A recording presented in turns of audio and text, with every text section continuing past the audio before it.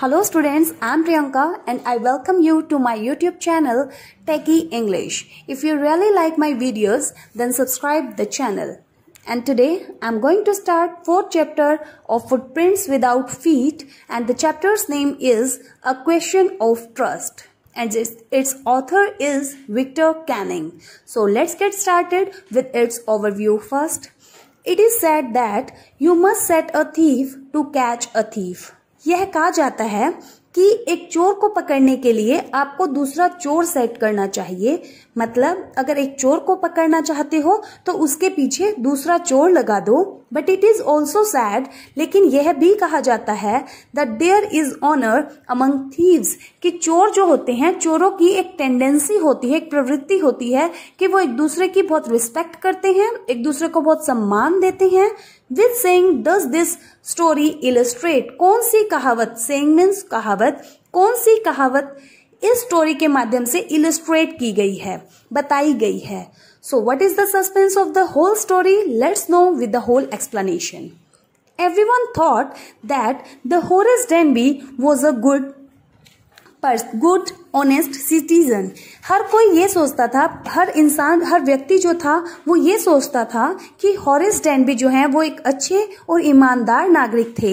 He was about fifty years old and unmarried वो लगभग पचास साल के थे और अनमेरिड अविवाहित थे। And he lived with a housekeeper who worried over his health वो एक अपनी हाउस कीपर एक मेड के साथ रहा करते थे, जो कि अक्सर उनकी हेल्थ को लेकर बहुत चिंतित रहती थी। In fact actually he was usually very well and happy कि अक्सर जो है, वो खुश और बिल्कुल ठीक ठाक रहा करते थे except for attacks of hay fever in summer summer में hay fever means an allergy caused by dust एक एलर्जी जो कि डस्ट की वजह से होती है। तो समर में उनको सिर्फ़ एलर्जी की वजह से वो बीमार होते थे अदरवाइज़ पूरा साल वो बिल्कुल ठीक रहते थे। ही मेड लॉक्स वो ताले बनाते थे एंड वो successful enough at his business to have two helpers और अपने काम में जो उनका ताले बनाने का काम था, उस बिज़नेस में वो बहुत ज़्यादा एनफ काफ़ी सफल थे। और उनके हेल्प के तौर पर उनके पास दो हेल्पर्स भी थे। Yes Horace Denby was good and respectable Horace Denby जो थे, वो अच्छे और रिस्पेक्टेबल थे। सब उनकी इज़्ज़त करते थे, आदरणीय थे बट नॉट कम्प्लीटली ऑनेस्ट लेकिन पूरी तरीके से वो ईमानदार नहीं थे। फिफ्टीन ईयर्स अगो पंद्रह साल पहले Horace had served his first and only first and only means पहली और केवल वही। सिर्फ़ वही सजा थी। सेंटेंस मीन्स पनिशमेंट सजा। पंद्रह साल पहले हॉरस डेनबी को पहली और इकलौती एक सजा मिली थी इन अ प्रिजन लाइब्रेरी, एक पुस्तकालय वाले जेल में, जेल पुस्तकालय में। He loved rare expensive books उन्हें वो बुक्स जो कि रेयर मतलब जिसकी इतनी इजीली अवेलेबिलिटी नहीं होती थी, वो किताबें और एक्सपेंसिव महँगी किताबें पसंद थी। So he robbed a safe every year इसलिए हर साल वो एक तिजोरी लूटा करते थे each year he plan carefully just what he would do हर साल बहुत सावधानी से केयरफुली वो ये प्लान करते थे, ये योजना बनाते थे कि उन्हें क्या करना है। Stole enough to last for twelve months इतना लूटना है, इतनी चोरी करनी है जो कि बारह महीने, एक साल तक अच्छे से चल सके। And secretly bought the books he loved through an agent और सीक्रेटली बिना किसी को बताए बुक्स को खरीदना है जिन्हें कि वो पसंद करता था थ्रू एन एजेंट एक एजेंट के द्वारा। नाउ अब walking in the bright July sunshine जबकि जुलाई के सनशाइन बिल्कुल चमकीले, सूरज बहुत अच्छे से निकलता है जिन दिनों में, जिन महीनों में। वो महीना जुलाई का चल रहा था। ही फेल्ट श्योर उसे विश्वास था दैट दिस ईयर्स रॉबरी कि इस साल की लूट was going to be as successful as all the others उतनी ही सक्सेसफुल उतनी ही कामयाब, सफल होने वाली थी जितने की पहले के सालों की। मतलब पहले के सालों की तरह इस साल भी जो रॉबरी है, जो वो लूट है, उसको उतनी ही अच्छी वो मतलब लूट कर सकेगा।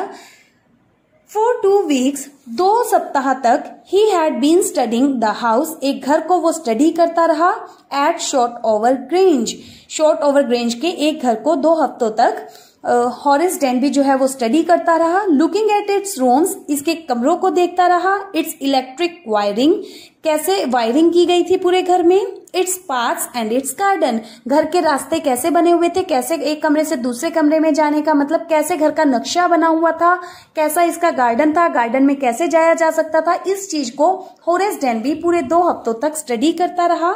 This afternoon the two servants आज की जो दोपहर थी उस दोपहर को दो servants who remained in the Grange जो कि ग्रेंज में रहते थे while the family was in London जबकि पूरा परिवार जो था वो लंदन में था तो सिर्फ़ दो सर्वेंट उस घर में रहते थे had gone to the movies और वो जो दोनों सर्वेंट थे, वो भी मूवीज़ देखने के लिए गए थे।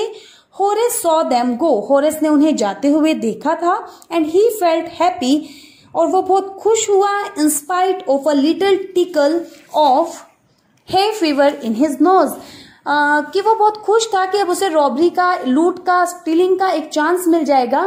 पर उसकी नोज़ में टिकलिंग हुई। Tickling I tickle means tickling गुदगुदी। एक गुदगुदी फील हुई। हे फीवर की मतलब एलर्जी से उसको डस्ट से उसको एलर्जी थी तो उसी की ही उसको टिकलिंग हुई। He he came out from behind the garden wall garden के जो पीछे गार्डन की दीवार के पीछे के रास्ते से वो बाहर निकला। His tools carefully packed in a bag on his back अपने जो टूल्स थे, उनको एक बैग में बहुत केयरफुली उसने रखा हुआ था और वो बैग जो था ऑन हिज बैग उसकी पीठ पर था। There were about fifteen thousand pound worth of jewels in the Grange safe कि ग्रेंज की जो सेफ़ है, तिजोरी है, उसमें लगभग पंद्रह हज़ार पाउंड के कीमत के ज्वेल्स हीरे ज्वारात रखे हुए थे। If he sold them one by one अगर वो उन्हें एक एक करके बेचेगा he expected to get at least five thousand तो उसे उम्मीद थी कि कम से कम उसे पाँच हज़ार पाउंड जो है उसके बदले में मिलेंगे बेचने के बदले में enough to make him happy for another year और ये जो पाँच हज़ार का अमाउंट उसको मिलेगा, वो काफ़ी था उसको अगले साल खुश रखने के लिए। देयर वर, या उसकी जरूरतों को पूरा करने के लिए, there were three very interesting books coming up for sale in the autumn क्योंकि तीन बहुत इंटरेस्टिंग जिसका उसमें, जो उसको बहुत इंटरेस्टिंग लगती थी, वो बुक्स जो है मार्केट में आने वाली थी सेल के लिए, बिक्री के लिए इन द ओटम ऑटम के सीज़न में now he would get the money he wanted to buy them अब वो he would get the money अब उसे जो है पैसे इकट्ठे करने होंगे। He wanted to buy them वो उन किताबों को खरीदना चाहता था और उन किताबों को खरीदने के लिए अब उसे पैसे इकट्ठे करने होंगे। He had seen the housekeeper hang the key to the kitchen door on a hook outside उसने देखा कि जो नौकरानी थी हाउस कीपर थी, उसने चाबी को किचन के दरवाजे पर एक हुक पे टांग दिया था। He put on a pair of gloves उसने दस्ताने पहने टुक द की चाबी को लिया एंड ओपन द डोर दरवाज़ा खोला. He was always careful not to leave any fingerprints वो हमेशा इस बात का ध्यान रखता था कि जब भी वो रोबरी करे तो उसके पीछे कोई भी फिंगरप्रिंट्स उंगलियों के निशान ना रह जाएँ। A small dog was lying in the kitchen एक छोटा सा कुत्ता किचन में लेटा हुआ था। It stirred stirred means made movement वो हिला डुला मेड अ नॉइस उसने आवाज़ की and moved its tail in a friendly way और अपनी पूछ को एक फ्रेंडली तरीके से हिलाया। ऑल राइट शेरी ठीक है, Sherry. Horace said as he passed Horace ने गुजरते हुए उस कुत्ते का नाम लिया। All you had to do to keep dogs quiet was to call them by their right names अगर आप कुत्तों को शांत रखना चाहते हैं तो आपको उन्हें उनके ठीक नाम से बुलाना चाहिए। एंड शो दैम लव और उन्हें अपना प्यार दिखाओ। The safe was in the drawing room जो सेफ़ थी, तिजोरी थी, वो ड्रॉइंग रूम में थी। Behind a rather poor painting एक बहुत बेकार सी पेंटिंग के पीछे Horace wondered for a moment एक क्षण के लिए, एक इंस्टेंट के लिए, पल के लिए हॉरेस जो था, वो ये सोचने लगा या ये विचार उसके मन में आया whether he should collect pictures instead of books कि उसे बुक्स की जगह पिक्चर्स की कलेक्शन करनी स्टार्ट कर देनी चाहिए but they took up too much room लेकिन जो पेंटिंग्स हैं, जो पिक्चर्स हैं, उनको स्टोर करने में, उनको कलेक्ट करने में एक बहुत बड़े स्पेस की, बहुत बड़े कमरे की ज़रूरत होती है। इन अ स्मॉल हाउस एक छोटे कमरे में, एक छोटे घर में बुक्स वर बेटर बुक्स को ही कलेक्ट करना ठीक था। There was a great bowl of flowers on the table table पर एक बहुत बड़ा बॉल एक कटोरा रखा हुआ था फूलों का and Horace felt his nose tickle Horace को उसकी जो नाक थी, उसमें टिकल गुदगुदी फील होने लगी। He gave a little sneeze वो थोड़ी धीरे से छीका and then put down his bag उसने अपना बैग नीचे रख दिया। He carefully arranged his tools बहुत ध्यान से उसने अपने टूल्स जो थे, उन्हें अरेंज किया, व्यवस्थित किया। He had four hours before the servants return नौकर जब तक वापस आते मतलब उसके पास पूरे चार घंटे थे नौकरों के घर वापस लौटने से पहले। The safe was not going to be hard to open जो सेफ़ थी, तिजोरी था, उसको खोलना हॉरेस डेनबी के लिए कोई मुश्किल काम नहीं था आफ्टर ऑल क्योंकि he had lived with locks and safe all his life क्योंकि उसने अपनी ज़िंदगी जो है, वो तालों और तिजोरियों के साथ ही तो बिताई थी। The burglar alarm was poorly built burglar a person who commits burglary and what is burglary to enter illegally in a building और होम एंड स्टीलिंग थिंग्स कि बर्गलर जो चोरी का अलार्म था, चोरी जब होने लगती थी तो जो अलार्म बजता था, जो सायरन बजता था, वो बहुत ज़्यादा पुअर क्वालिटी का था, बहुत घटिया था। He went into the hall वो हॉल में गया टू कट इट्स वायर सारी तारे काटने के लिए।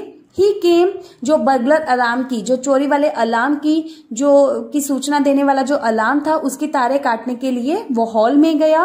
ही केम बैक वो वापिस आया and sneezed loudly as the smell of the flowers came to him again और, क्योंकि जो फ्लावर्स की जो स्मेल थी क्योंकि उसको तो एलर्जी थी इन चीज़ों से तो उसकी जो स्मेल थी, उसको बहुत ज़्यादा वो फील करने लग गया, उसको दोबारा से वो स्मेल आने लगी और बहुत ज़ोर से इस बार उसने छींक मारी।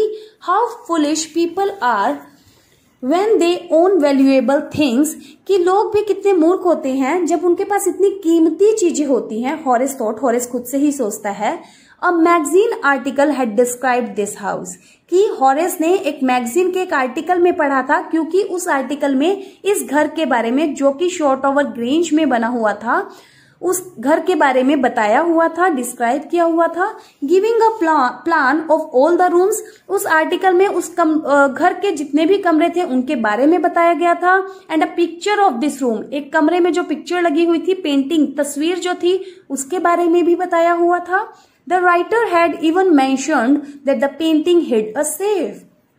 Writer ने जो आर्टिकल लिखने वाला था, उसने यहाँ तक कि ये भी बताया था कि एक जो पेंटिंग है, उसके पीछे हिड पास्ट फॉर्म है एक सेफ़ एक तिजोरी छिपी हुई थी बट हॉरेस फाउंड लेकिन हॉरेस ने पाया that the flowers were hindering him in his work कि फ्लावर्स जो थे, जो एक बोल के अंदर फूल रखे हुए थे, वो उसके काम में हिंडरिंग ऑब्स्टेकल बने हुए थे। हिंडरिंग मीन्स ऑब्स्टेकल रुकावट बने हुए थे।